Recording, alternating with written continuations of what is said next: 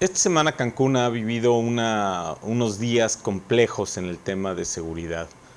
Eh, la rebelión de un grupo de policías que incluso llegaron a sacar al titular de seguridad pública del, municipio de sus oficinas a empujones, este, la intervención del secretario de Seguridad Pública del Estado, de Alberto Capella, para resolver la crisis bueno, han sido muchas cosas. Ayer la alcaldesa Mara Lezama eh, anunció que le cedía el tema de la seguridad pública.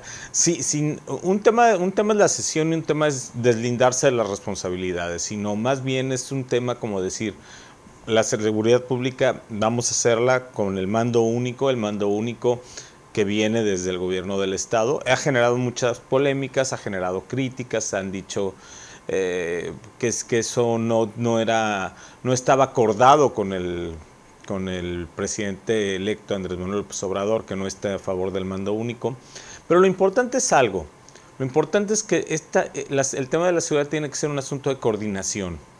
Y por primera ocasión en muchos años estamos viendo que puede haber una coordinación entre los tres niveles de, de gobierno en tema de seguridad, que es lo que necesita esta ciudad más allá de las críticas que existan, más allá de que le digan a la alcaldesa Mara Lezama que se está deslindando de un problema, yo creo que no, yo creo que al revés.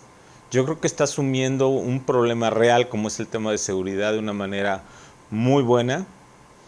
¿Por qué? Porque la coordinación nos va a llevar a que pueda resolverse de mejor manera el tema de la inseguridad que nos, que nos aqueja.